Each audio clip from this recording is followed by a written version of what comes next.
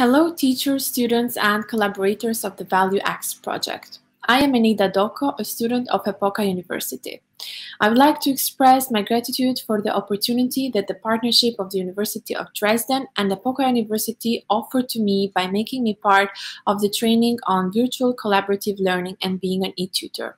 My experience as a student and teaching assistant proved me that the integration of virtual learning in Albanian universities is still implemented insufficiently and has yet to be improved.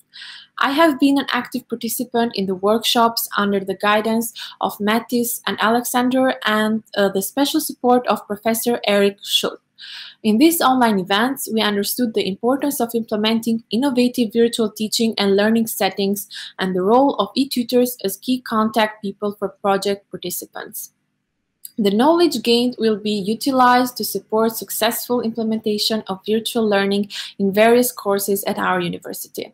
I enjoyed the contact with the students of other universities in Albania and support even further expansion of this relationship.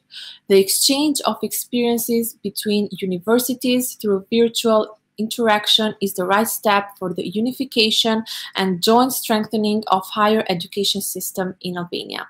VALEU-X not only taught me a lot about VCL as a fruitful method in the field of academia, but motivated me to master my skills of group work and collaboration in a virtual environment.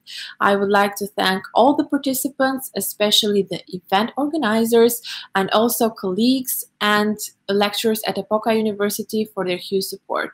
I am looking forward to further development of this cooperation with you. Thank you, everyone.